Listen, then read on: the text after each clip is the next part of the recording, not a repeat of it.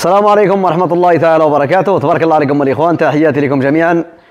وحياكم الله أينما كنتم وأشكركم جزيل الشكر على التشجيع ديالكم والدعم ديالكم المتواصل. بارك الله في الجميع. بالنسبة للتساؤلات ديالكم الإخوان إن شاء الله بحول الله غادي نجاوب عليها إن شاء الله على حساب الخروف اللي هو كيهبط من إسبانيا المغرب. بالنسبة للإخوان اللي هما كيكتبوا لي في التعاليق واش الخروف ديال إسبانيا اللحم ديالو مزيان؟ واش المذاق ديالو بحالو بحال ديال البلاد؟ واش الأكل ديالو بحالو بحال ديال البلاد؟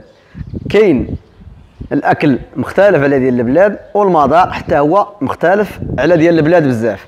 لأن كل المنطقة كتنتج واحد السلالة اللي هي معينة على حسب المنطقة اللي كتعيش فيها هذيك السلالة. لأن السلالة ديال ديال ديال إسبانيا ماشي هي السلالة ديال المغرب. أه تقدر تعيش في بعض البوادي.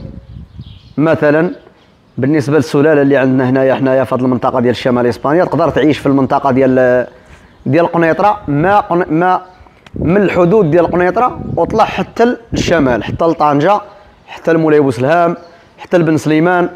هاد السلالة اللي عندنا حنايا تعيش تمايا وحتى في المنطقة ديال الدار البيضاء تقدر تعيش لأن كنشوف أنا في المنطقة ديال الدار البيضاء كاين البروكولي بزاف.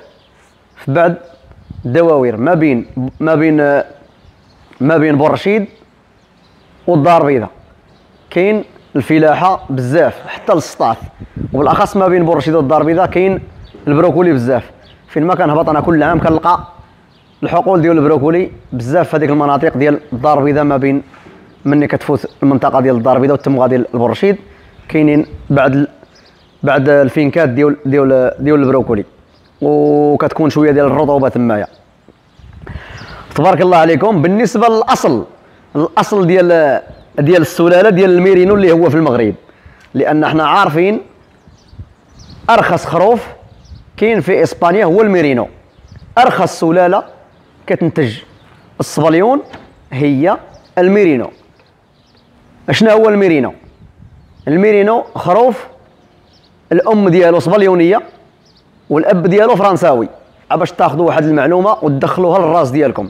الميرينو مشترك فيه ما بين إسبانيا وما بين فرنسا وما بين تشورا وما بين واحد الدولة أخرى. بصح الأب ديال ديال ديال ديال الخروف اللي هو كيهبط للبلاد كامل الأب ديالو ذكر فرنساوي والأنثى إسبانية. ومن تما من نتجوا هذاك الميرينو. الناس اللي هما عندهم تجربة وعارفين في هذه القضية ديال كيتبعوا المسائل ديال المواشي بزاف وكيستفسروا بزاف وكيبغيو يعرفوا كيبغيو يعرفوا السلالة من رقم واحد حتى الرقم عشرة. بالنسبة للأصل الأصل الغنم ديال إسبانيا الأصل ديالها هي اللي كاينة في كاستيا ليون كيقولوا ليها كاستيانا ولا كاستيا لا مانشا ولا كوينكا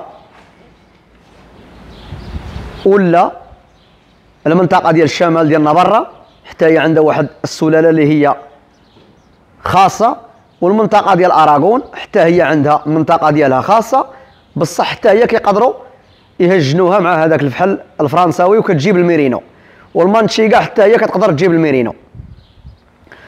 بصح الميرينو كامل اللي هو هابط للبلاد كله الأصل ديالو مو اسبانيا وباه فرنساوي. معلومة مفيدة بالنسبة للناس اللي هما كيتواصلوا معايا بزاف عبر التواصل الاجتماعي وعبر عبر اليوتيوب عبر الصفحة ديال الفيسبوك كيكتبوا لي باش نقدر نشرح لهم على حساب هذاك الخروف اللي كيهبط البلاد. اللحم ديالو مزيان لأن الاكل اللاكون هوايا كيدوز الحليب الاصطناعي من الأول.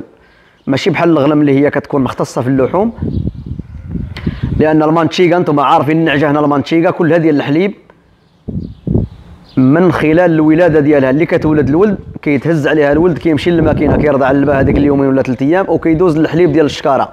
الحليب الاصطناعي من بعد كيدوز للعلف حتى كيكبر. هذيك الساعة صافي وكيخرج للسوق.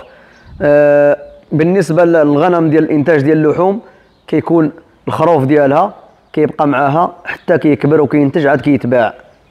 كيكون الخروف غالي شوية على حسب الخروف اللي هو كيدوز الحليب الاصطناعي. ديما الخروف ديال الحليب الاصطناعي كيكون أرخص من الخروف اللي هو ديال الإنتاج العادي. لأن الغنم اللي كتن... اللي كتنتج الخروف ديالها عادي كيكون غلا من الخروف اللي هو كيكون ديال الانتاج الإنتاج الاصطناعي. تبغيو تدخلوا هذه المعلومة لراسكم إن شاء الله بحول الله وبالنسبه للأسعار الأسعار اللي هي كتدور في المغرب لأني كنتفرج فيديوهات بزاف. وكذلك مثال كيوصلني الفيديوهات من بعض المزارع اللي هما ثم فيهم هذا الميرين وهذا اللي كاين ثم في البلاد كيتباع بالنسبة للمواطنين المغاربة. آه الأسعار ديالو هنايا كتوصل ما بين 1300 1400 درهم. كاين الدعم ديال الحكومة ديال الدولة 500 درهم كيبقى الآخر ب 700 درهم. الا كان فايت 1500 درهم راه غالي بالنسبة للمواطن وراه التجار اللي هما كيبيعوا الخرفان. المواطنين راهم مغلين عليهم بزاف لأن 1300 درهم نديرو حنا الخروف كاع هنا يطلع ب 1500 درهم عاطياك الدولة 500 درهم كيوصل تمايا للمغرب ب 1000 درهم. ولا 1150 ولا 1200 درهم. وكيتباع الخروف راني كنشوفوا أنايا أصغر خروف كيتباع ب 1700 1800 درهم. أكبر خروف كيتباع ب 3000 درهم. 2700 درهم 2800 حتى 2900 درهم. بالنسبة للأسعار غالية بزاف والناس اللي هما كيبقاو عندهم المصاريع المزارع بزاف وكيقول لك هذا الخروف هذا ديال الدرويش. الخروف ديال الدرويش خاصو ما يتعداش 1500 درهم 1300 درهم. هذا هو الخروف ديال الدرويش. حنا ما كنهضروش على الطبقة العليا كنهضروا على الطبقة الوسطى والطبقة التحتانية اللي من رقم صفر. الثمن ديالو 1500 درهم بالنسبة للأسعار ديال الدراوش هذاك الخروف لأن حنا هنايا كنبيعوا الخروف ب 2500 درهم. الخروف اللي كتشوفوا كيتباع هنايا في إسبانيا 2500 حتى 3000 درهم بصح خروف غليظ وكبير فيه 40 ل 45 كيلو.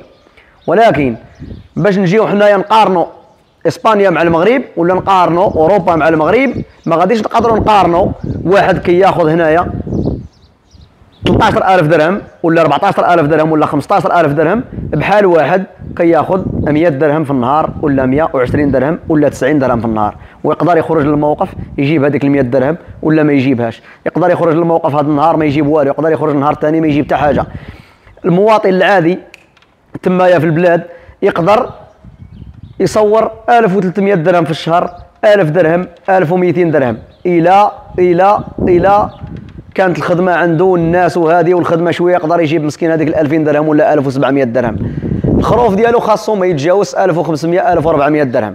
حتى الناس الكسابة اللي هما كيهبطوا هذا الخروف من هنا من أوروبا حتى هما خاصهم يفكروا للناس اللي راهم عايشين تمايا وحنا عارفين الناس الله يحسن العون كاين اللي ما عندوش باش يبدل حتى البوطة. واحد كيدي لي خروف هنا من أوروبا واصل ب 1200 درهم وطالب فيه 2500 درهم ولا 1900 درهم ولا 1000 ولا 1800 درهم. غالي بالنسبة للمواطن العادي. اللي عنده الفلوس الله يسهل عليه. راحنا عارفين مالين الفلوس كيشريو ب 800 كيشريو ب 800 ألف فرانك ب 900 ألف فرانك. كيقدر يشري حتى ب 1000 أورو. بصح الناس العاديين راه إلا تجاوز الخروف. 1500 درهم راه غالي عليهم بزاف وراه كاين اللي كيتسلف باش كيشري العيد. تحياتي لكم الإخوان وهذا ال message هذا بغيت نوصلوا للناس اللي هما كيسولوني بزاف بالنسبة للمتابعين ديالنا الأوفياء. حياكم الله اينما كنتم وتبارك الله عليكم والسلام عليكم ورحمة الله تعالى وبركاته.